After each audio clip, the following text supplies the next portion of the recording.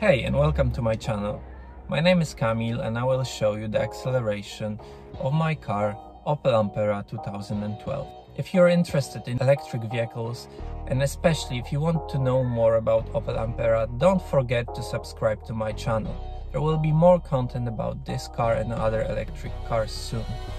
For those of you who don't know, Ampera is an electric vehicle that has a range extender.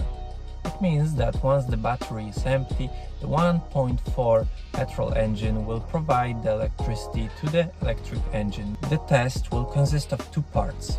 The first part will be the battery is empty, so the car will use the power generator to run the car. After that, we will fully charge the car and once again measure the acceleration. So with all that said, let's begin our test. Even though the car shows that the battery is empty, there is some of the energy left, as the petrol power generator has only power of 63 kilowatts, while power of the electric engine is 111 kilowatts, so almost half of the energy will be supplied from the battery when car runs at full capacity.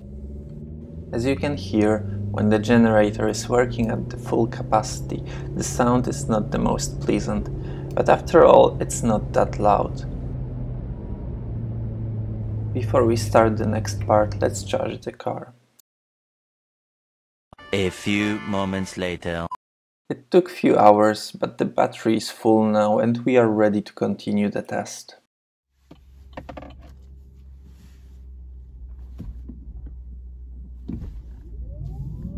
Running on full EV mode is almost completely noiseless. The only sounds that you can hear is the wind and the tires.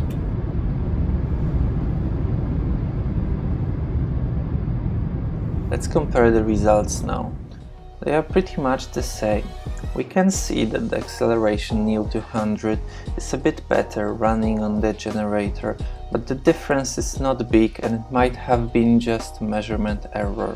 The interesting thing is that nil to 30 and nil to 50 is very immediate.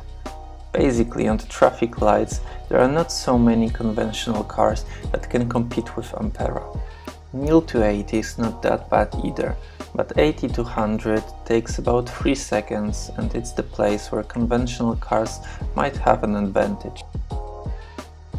Comparing those numbers to 9 seconds that new Ampera should do, I'm quite impressed that an 8 years old car with almost 300,000 kilometers on the clock still does so well.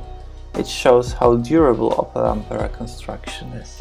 If you like this video and haven't done it already, please remember to smash the like button and subscribe to the channel. It makes me so much more motivated to do videos like this. If you have any questions or would like to see another video about Opel Ampera, please leave your suggestions in comment section below. So thanks for watching and see you soon.